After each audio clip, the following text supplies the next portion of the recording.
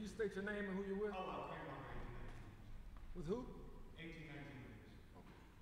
Okay, so the individual wielding the, the folding chair has been identified as Mr. Reggie Ray, uh, black male, 42 years old. We, we're again asking Mr. Reggie Ray to contact local law enforcement. Uh, there's more interviews and uh, for us to conduct with him, and uh, I'm sure we'll be in contact with him in the very near future. We're asking him to reach out to us within the next 24 hours uh, so we can again uh, sort through the issues with the folding chair and what we all saw on social media as well. Uh, Chief, you mentioned that other charges may be warranted to other people. Does that mean the Good Samaritans who came down to help, or is it just in general?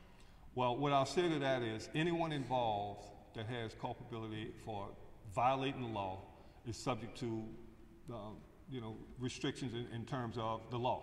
So we're going to go where this investigation leads us. Um, no one's off limits. Uh, we'll interview as many as we need. Again, on the night of the incident, we interviewed 13 that we were able to detain and transport to police headquarters. But again, uh, I don't think we're, we're near finished. We have a lot more work to do on this, and we'll continue to inform the public and the media on our progress.